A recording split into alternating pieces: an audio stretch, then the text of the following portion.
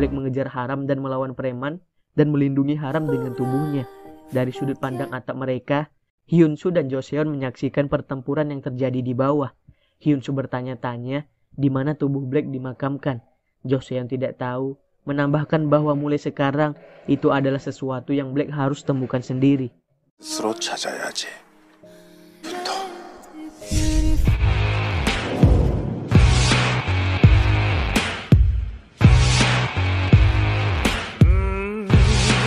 Saat preman sewa mengalahkan pemrotes Mall Mujin, Haram bergegas untuk mencoba dan memegang ayah tirinya. Saat dia meraih, dia melihat bahwa dia akan mati dalam api. Yang membingungkan dia, karena itu berarti dia tidak akan mati di protes. Dia mendengar salah satu pemrotes bertanya tentang anak-anak. Dan Haram menemukan bahwa anak-anak pemrotes berada di salah satu bangunan sementara di sebelah lokasi konstruksi. Anggota Kongres Kim pergi untuk memeriksa anak-anak yang bermain di dalam. Dan seorang pria menuangkan bahan bakar di luar gedung lalu menyalakan api. Black melawan preman dan Haram berlari ke tempat asap hitam mengepul. Kwang Kyun juga bergegas ke pertarungan, melepaskan tembakan peringatan untuk membuat orang berhenti. Black menyadari Haram menghilang. Dia menemukan bangunan yang perlahan-lahan terbakar, tetapi pintunya di rantai tertutup dan jendelanya dihalangi. Haram melihat ke jendela begitu banyak bayangan sehingga dia hampir tidak bisa melihat anak-anak. Black menemukan Haram dengan putus asa mencoba memutuskan rantai di pintu dan berteriak minta tolong. Dia ragu-ragu bergulat dengan naluri Reapernya untuk tidak mengganggu kematian. Dia mengabaikan lusinan Reaper yang menunggu dengan sabar saat dia menggunakan kekuatan manusia supernya untuk membuka jeruji di jendela, menciptakan ruang yang cukup bagi anak-anak untuk dibebaskan. Saat anggota Kongres melewati anak-anak melalui jendela, kepelukan haram, bayangan mulai menghilang. Kwang Kyun dan para pemrotes juga berlari ke gedung dan Kwang Kyun melepaskan kunci. Ayah tiri haram melihat dia membantu, terkejut bahwa dia ada di sana. Dia berlari ke dalam gedung tepat saat Black mencoba menyelamatkan seorang gadis kecil. Haram menyadari bahwa ini pasti api dari bayangan ayah tirinya. Dia mencoba untuk melindungi seorang anak, tapi dia pingsan. Dia meminta bantuan Black. Haram menolak untuk meninggalkan gedung dulu karena dia melihat salah satu orang terjebak. Para medis dan pemadam kebakaran akhirnya tiba, tapi sebagian besar berkat Haram dan Black semua orang diselamatkan. Ayah tiri Haram khawatir dia terluka. Haram mengatakan kepadanya bahwa dia harus fokus menyelamatkan anaknya sendiri. Mengingatnya pada transfer sumsum -sum tulang yang dibutuhkan saudara tirinya. Black sangat marah karena Haram bisa terbunuh selama upaya tanpa pamrihnya untuk menyelamatkan anak-anak. Manhu sangat marah saat dia melihat berita tentang kebakaran itu. Pria kehilangan jarinya hanya untuk menakut-nakuti para pengunjuk rasa, bukan mencoba membunuh anak-anak dan anggota Kongres. Kehilangan jari mengatakan itu adalah kesalahan dan ada yang tidak beres. Kwang Kyun menemukan Madam Huang menuntut dia memberitahunya persis apa yang terjadi ketika Clara menghilang. Madam Huang tergagap bahwa Clara menghilang pada hari yang sama. Byung Sik diduga ditemukan tewas beberapa hari setelah Molmujin runtuh.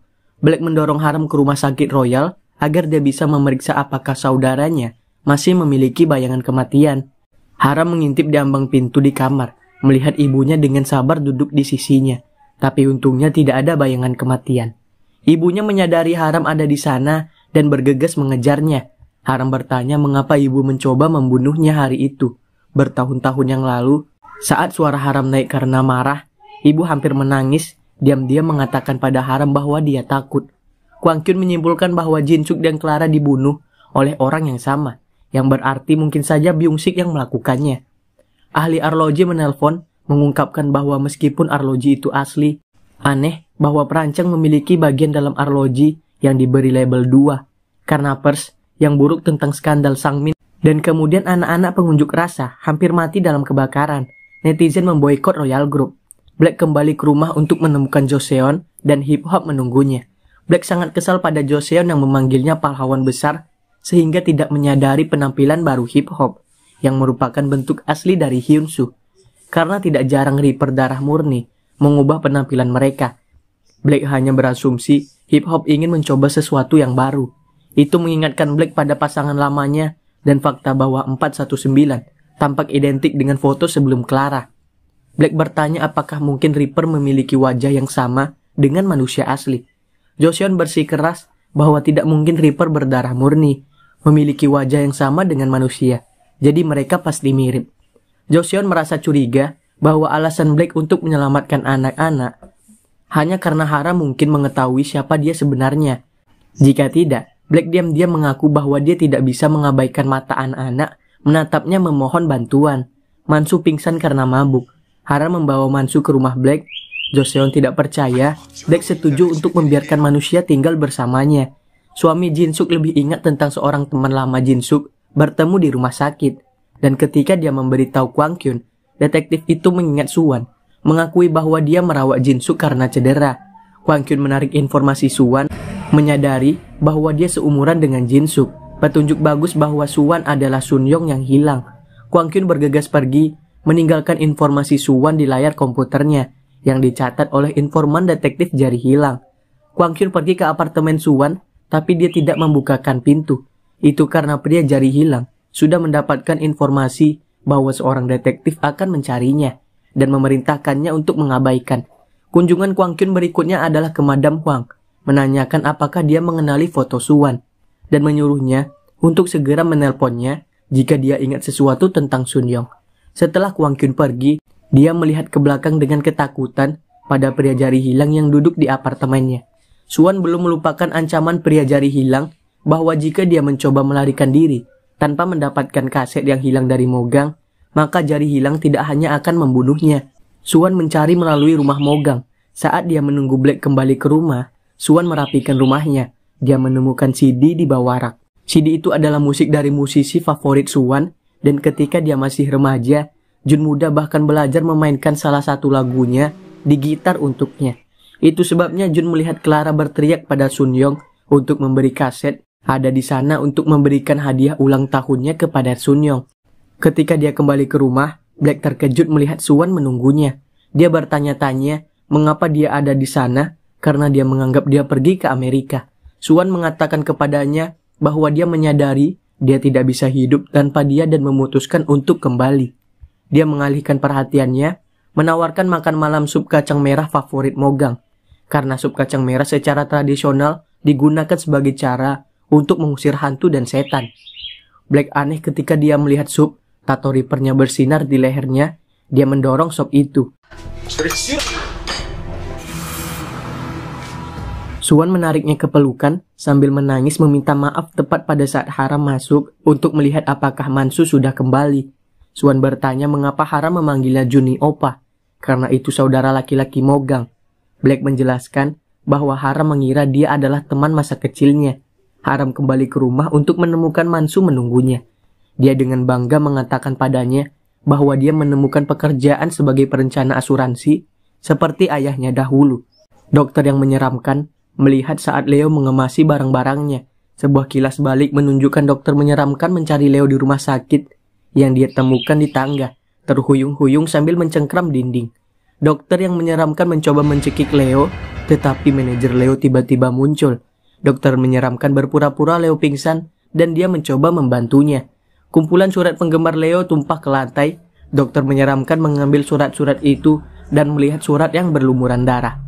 Membaca surat yang terbuat dari potongan kata-kata yang mengancam untuk membuat Leo membayar dosa masa lalunya. Dokter menyeramkan senang karena ada orang lain selain dirinya yang mengejar Leo.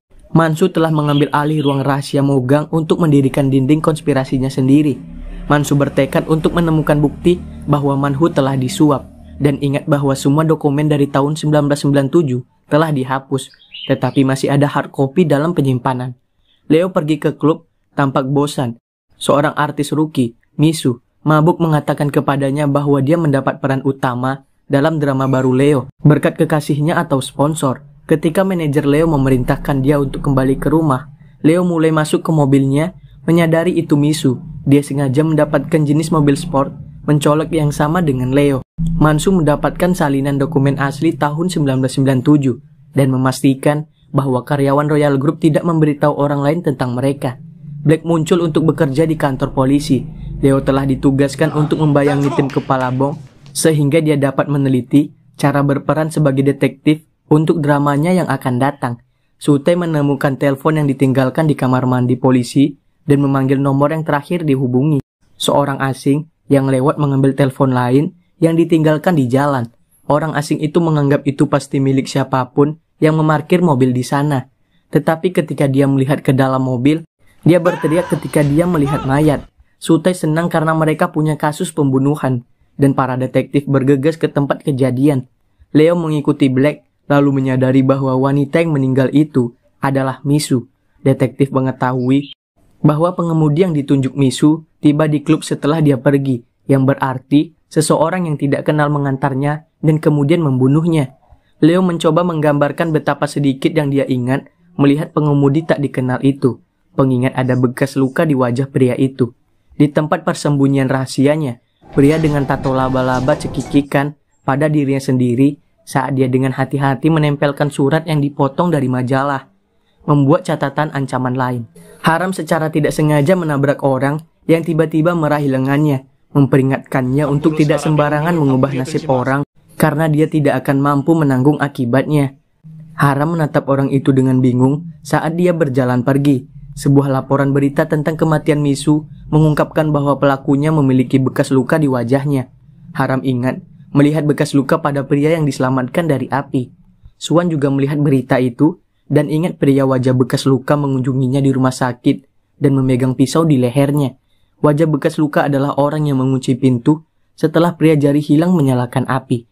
Dia menyaksikan dengan gembira dari bukit terdekat saat gedung mulai terbakar, wajah bekas luka tersenyum pada foto-foto korbannya, menurunkan satu foto untuk menatap lebih dekat. Mempelajari tubuh Misu, Black menyadari pembunuhannya adalah orang yang sama yang membunuh direktur rumah sakit kesehatan mental. Misu dibunuh oleh seseorang yang senang membunuh. 똑같아. 죽이는 걸 즐기는 놈이야.